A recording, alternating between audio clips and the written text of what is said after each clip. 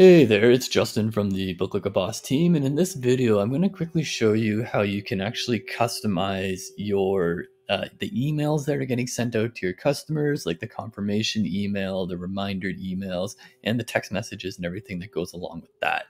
So there's two ways that this works. Uh, you can set this at a global level, or you can set this at a per package or per appointment or per per service basis. And what that means is if you're setting something at a global level, that text that you set for that confirmation email, that follow up, whatever it is, is going to apply to all of your appointments and all of your services across your entire account. And for some people who don't have super specific and different appointments that are super unique, that could potentially work really well. So I'll show you how to do that first. But then if you do want to actually customize it on a per appointment basis, I'll show you how to do that second. So for setting it at the global level, just go in here to other settings, sorry, not other settings, uh, page settings, and go down to text, colors, and fonts. And you'll see right here, you've got email messages. And this is where you can essentially modify everything that has to do with, um, again, at a global level, like the confirmation email message, the rescheduled email message, um, cancellations, pendings, and offline messages. So that's where you're going to do that. And anything that you set here is going to apply to all of your appointments, assuming they are using the global templates.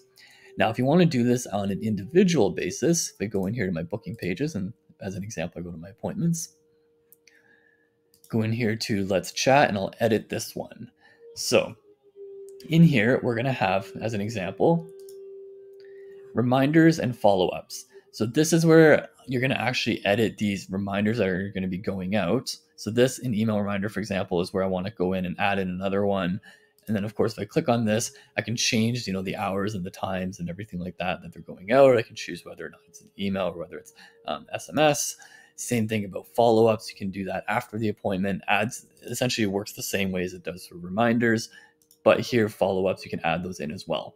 Now, if you're wanting to change what's actually going to go inside of those, I'm going to click on this little uh, envelope icon at the top here.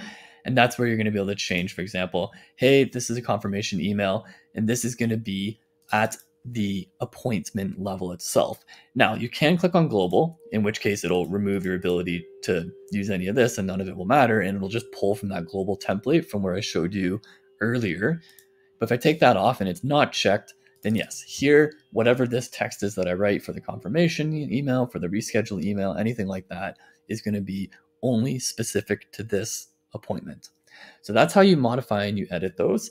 Um, in terms of actually editing the text or something like the follow up, that is still templated. So if you come in here, for example, um, we just go back to, you know, the follow ups and the reminders or whatnot. The reminders, sorry, the follow ups at this time, you can add one in and you're going to have this here. You can put in whatever you want your custom text to be or whatnot. Um, but this is going to be specific to this appointment. There isn't an option yet to make that global.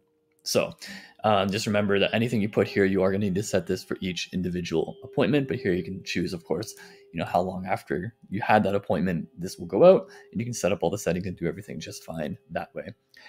If you have any other questions on this, please feel free to reach out to us using the chat icon in the bottom right hand corner. It's the best way to get in touch with us, and we're always answering your messages there.